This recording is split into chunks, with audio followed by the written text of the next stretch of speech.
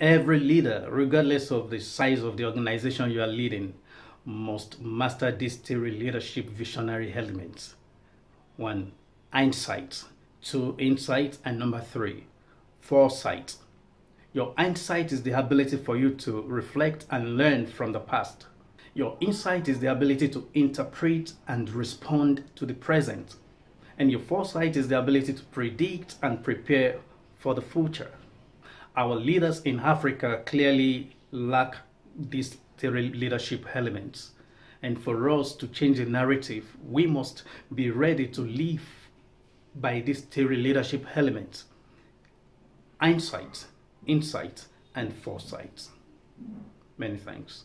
Please don't forget to subscribe, like, and if you like what I have said, kindly share. Thank you.